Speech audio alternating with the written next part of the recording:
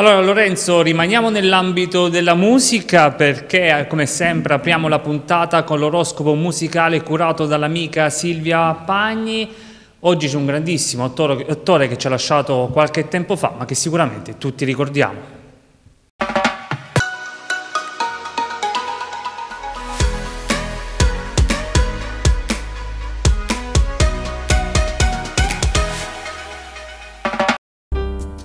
Bentornati a tutti all'oroscopo musicale. Sempre sotto il segno del toro nasceva un attore italiano, simbolo di un'era intramontabile.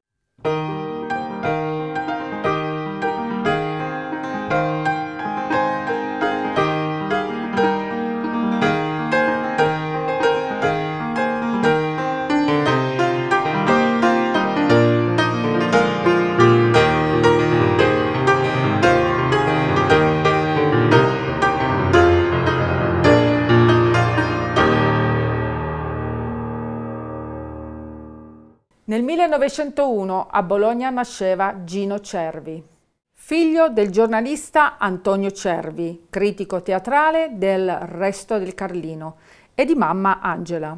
Fin da piccolo Gino Cervi si appassiona del teatro e con suo papà assisteva spesso a vari spettacoli teatrali. Nel 1924 inizia a fianco alla celebre attrice Alda Borelli nella Vergine Folle. Grazie alla sua grande passione, alla bella presenza e ai suoi modi signorili. Nel 1925 fu chiamato come primo attore giovane da Luigi Pirandello nella compagnia del Teatro d'Arte di Roma, accanto ai primi attori Marta Abba, Lamberto Picasso e Ruggero Ruggeri, interpretando successi come Sei personaggi in cerca d'autore nella parte del figlio, opera con cui andò in tournée a Parigi, Londra, Basilea e Berlino. Ottenne rapidamente un grande successo che nel giro di dieci anni Gino Cervi lavorò con le più note compagnie italiane. Fu anche interprete di Otello e di cui doppierà anche il personaggio di Amleto, nella versione cinematografica con protagonista Laurence Olivier. Nel 1938, insieme ad Andreina Pagnani, Paolo Stoppa e Rina Morelli, costituì la compagnia semistabile del Teatro Eliseo di Roma, di cui assumerà la direzione nel 1939. Il regista Alessandro Blasetti scrittura Gino Cervi per renderlo protagonista di una fortunata serie di film storici, quali Ettore Fieramosca, Un'avventura di Salvatore Rosa e La corona di ferro, e dei film Quattro passi fra le nuvole, La regina di Navarro e con Anna Magnani in Quartetto Pazzo. È negli anni 50 che ottiene uno straordinario successo con l'interpretazione della fortunatissima serie di film dedicata ai personaggi letterari di Giovannino Guareschi, in cui interpretò il sindaco comunista Giuseppe Bottazzi, detto Peppone.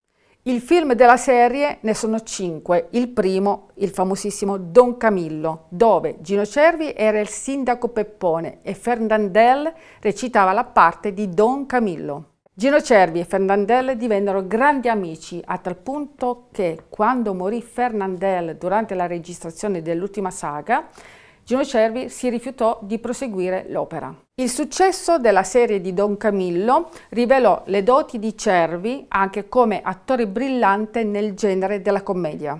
Così lo scritturarono negli anni 60 per i seguenti film. Il coraggio 1955, Guardia, guardia scelta, brigadiere maresciallo del 56, Gli anni ruggenti 1962 e Gli onorevoli 1963. A metà degli anni 60 fu la televisione a dargli una rinnovata notorietà. Dal 1964 al 1972 Cervi fu l'impeccabile interprete della serie poliziesca Le inchieste del commissario Maigret, ispirata ai romanzi dello scrittore belga George Simon. Al fianco della storica compagna d'arte Andreina Pagnani, Tratteggiò con arguzia e bonarietà il celeberrimo personaggio del commissario parigino dal fiuto infallibile, amante della casa e della buona cucina. Lo stesso autore Simenon considerava quella di Cervi tra le migliori interpretazioni del personaggio di Maigret. Le sue ultime apparizioni sono in alcuni caroselli per un famoso brandy, che aveva pubblicizzato per vari anni con un motto che a quell'epoca era diventato molto famoso e faceva così. Vecchia Romagna, etichetta nera, il brandy che crea un'atmosfera. E adesso alcune citazioni di Gino Cervi. La prima è questa. La più diffusa malattia degli occhi è l'amore a prima vista. La seconda citazione.